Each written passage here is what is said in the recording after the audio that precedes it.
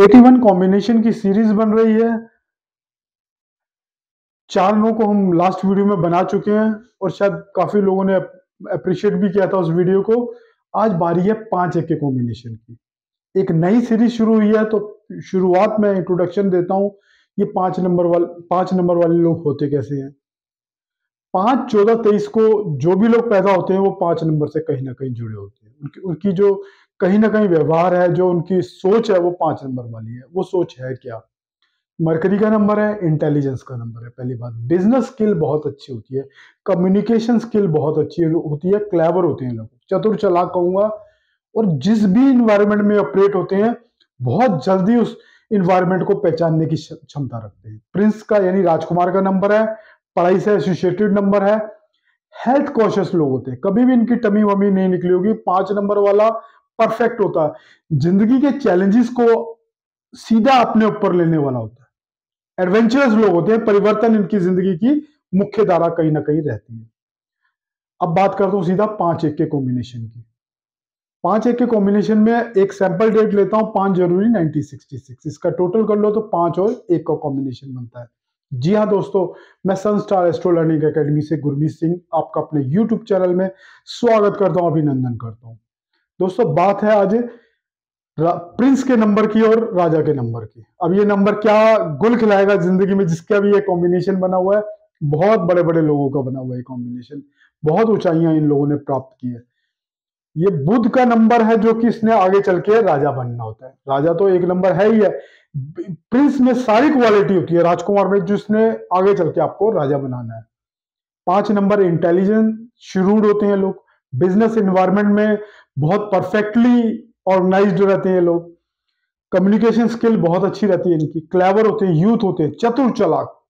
हमेशा अवेयर रहते हैं, जिस भी इन्वायरमेंट में ये लोग ऑपरेट करते हैं। एक नंबर सूर्य का नेम फेम सक्सेस का। गवर्नमेंट से जुड़ा हुआ नंबर है किंग का नंबर है और आपकी सोल का नंबर है। अब बात करता हूँ इस कॉम्बिनेशन की मेन मेन करेक्टरिस्टिक की।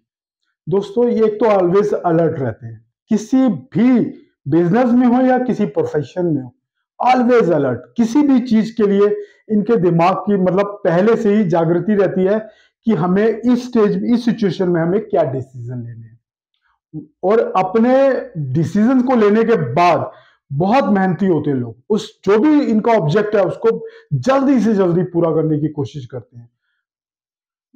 और इनकी ज़िंदगी में एक बात बता दूँ, इनकी बहुत बड़ी खासियत इनकी ज़िंदगी में नए नए प्लान इनकी ज़िंदगी का बहुत रेगुलर हिस्सा रहते हैं। क्योंकि मरकरी का नंबर है ना, मरकरी यूथ स्टेज को बताता है। वेरी फ्रूटाइल माइंड होता है इनका। और बहुत कुछ सोचने और समझने की और इंप्लीमेंट करने की क्षमता रखता है मरकरी। इंटेलेक्ट फ़ंक्शंस मतलब जो काम करेंगे, बहुत परफेक्टली फिनिश करने की कोशिश करेंगे। इंटेलिजेंट तो है ही है तो काम को करने का तरीका भी इनका बहुत ही इंटेलेक्चुअल वाला होगा। कोई ऑर्डनरी तरीके से काम नहीं करेंगे। प्रोफेशन में जिसमें भी जाएँगे, बहुत ऊंचाइयों को छूती हैं। जो भी प्लानिंग बना लेंगे प्लान अच्छे बनाएँगे। पहली बात तो प्लान में इनकी कोई कमी होगी नहीं। अगर प्लान इधर से उधर हुए भी मरकरी बहुत ही एडजस्टेबल नेचर का कम्युनिकेशन स्किल बहुत अच्छी है मरकरी की। बिज़नेस स्किल बहुत अच्छी है। तो जहाँ जो चेंजेस चाहिए, बहुत चेंजेस को बहुत फास्ट अडॉप्ट करता है। प्रोफेशन में बहुत अच्छे होते हैं, इसी कारण ये लोग प्लीजिंग पर्सनैलिटी होते क्योंकि राजा का और बुद्ध का कॉम्बिनेशन मरकरी का प्रिंस का कॉम्बिनेशन है। हमेशा इनकी ज़िंदगी में हाई इंथुजिज्म बना रहता है। जिस भी काम को करोगे, चाहे काम का लेवल छोटा है या बड़ा, किसी बड़े आदमी से मिलने जा रहे हैं या किसी मीडिया को आदमी से मिलने जाएँगे, पर इनकी पर्सनैलिटी में उनके अप्रोच में कोई फ़र्क नहीं रहने वाला। हाईएस्ट पोजीशन लाइफ में इनको मिलनी मिलनी तय है। अब बात करता हूँ इनके प्रोफेशन की, कि कौन कौन से प्रोफेशन इनको बहुत सूट करते हैं। फाइनेंस का प्रोफेशन स्टॉक मार्केट का म्यूचुअल फंड का टीचिंग का बैंकिंग का अकल्ट का एस्ट्रोलॉजी का। पार्टनरशिप के लिए बहुत फिट लोग हैं। इनकी पीआर से रिलेटेड जो भी जॉब होगी उसमें बहुत आगे जाती है। यानी पीआर का मतलब सेल्स की हुई है दो कंपनियों के बीच में एडवाइजरी की रोल इनके लिए बहुत अच्छा रहने वाला है। अच्छे राइटर होते हैं मीडिया लाइन इनके लिए बहुत सुटेबल होती है। एम्बेसडर बहुत अच्छे होते हैं। कमीशन वर्क होगा। इवन एडवोकेट बहुत अच्छे होते हैं। जब केस को इन्होंने कोर्ट में प्रेजेंट करना होता है ना, इनकी प्रिपरेशन फाइव स्टार रहती है। मतलब ये केस हारने वाले दिन पैदा नहीं हुए लोग। अब बात करता हूँ इनके लक्की नंबर्स की। एक, पाँच सीरीज़ से जुड़े हुए सारे नेम्स इनको बहुत लक्की नंबर से पहले मैं इनको लक्की नेम्स की बात करता हूँ। एक, पाँच, चौदह, उन्नीस, तेईस। बत्तीस, सैंतीस, इकतालीस और छियालीस।